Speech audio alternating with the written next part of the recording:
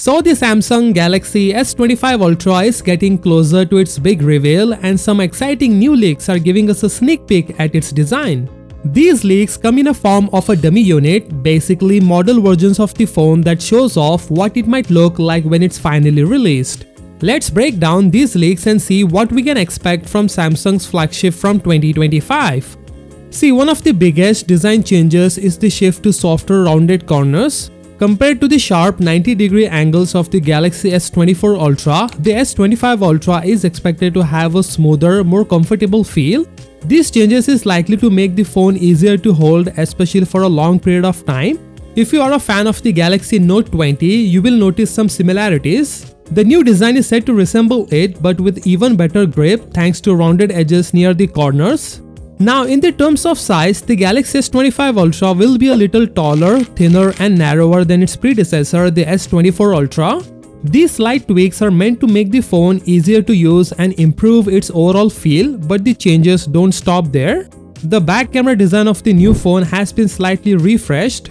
Its layout resembles the S24 Ultra but with a notable change, the camera lenses features concentric rings, a design element reminiscent of the Galaxy Z Fold 6. This update adds a fresh and subtle touch to the camera area while staying true to Samsung's typical minimalist style.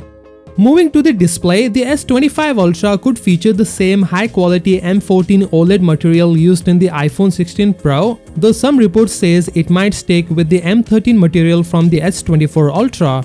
Either way, expect a super bright display with a great color accuracy and improved viewing angles. It will also likely have a more powerful Snapdragon 8 Elite chipset inside and you might even get a model with a whopping 16 gigs of RAM. The Galaxy S25 Ultra is expected to launch in January 2025 alongside Android 15 and Samsung's One UI 7.